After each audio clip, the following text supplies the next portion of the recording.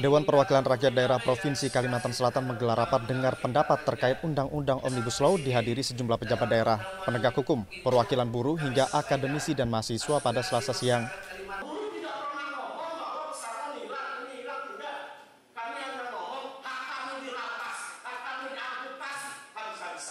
Situasi sempat menegang saat penyampaian pendapat oleh Presidium Aliansi Pekerja Buruh Banua Yuyun Indarto yang mengatakan pihaknya baru mendapatkan empat draft naskah yang dianggap belum lengkap akan tetapi telah disahkan oleh DPR Republik Indonesia. Yuyun meminta DPRD Provinsi Kalimantan Selatan agar secepatnya memintakan draft asli Undang-Undang Cipta Kerja dan membahasnya bersama.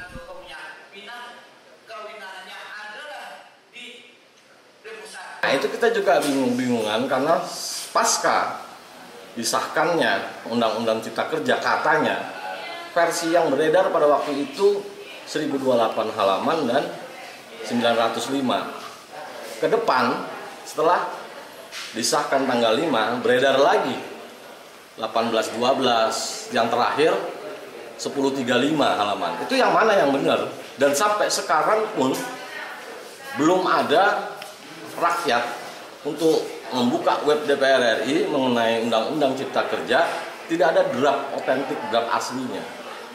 Dan jangan mengatakan bahwa kaum buruh menciptakan hoak. Sementara terkait aksi mahasiswa, Wakil Rektor 4 Bidang Kemahasiswaan dan Alumni Universitas Lampung Mangkurat Muhammad Fauzi mengatakan, pihaknya tidak bisa membatasi suara mahasiswa dalam penyampaian aspirasi, namun pihaknya siap menindak ketika mahasiswa ULM yang beraksi di luar ketentuan ULM undang-undang ini kan tidak hanya menyangkut tentang cipta kerja atau tenaga kerja, tapi juga menyangkut tentang lingkungan dan sebagainya. Nah, oleh karena itu saya kira kita juga harus melihat undang-undang atau omnibus law ini secara holistik gitu. Sehingga kita tidak hanya terjebak tentang tenaga kerja dan sebagainya, tapi juga menyangkut lingkungan dan sebagainya. Bukan tentu ini kan DPR sudah mengatur, tapi masih ada langkah-langkah pembahasan di presiden pihak eksekutif, pihak pemerintah. Nah, pihak pemerintah kan sudah menyampaikan selama tiga bulan masih adakah masukan-masukan dari daerah apalagi dari mahasiswa dan sebagainya di perguruan. Nah kalau masukan-masukan itu kan nanti bisa dimasukkan lagi, nanti bisa muncul, bisa diperpukan atau direvisi. Nah kami sependapat. Nah tapi kami eh, mengharap lagi nanti secepat mungkin meminta draftnya sejauh mana. Ini kan hanya jangan sampai termakan hoax.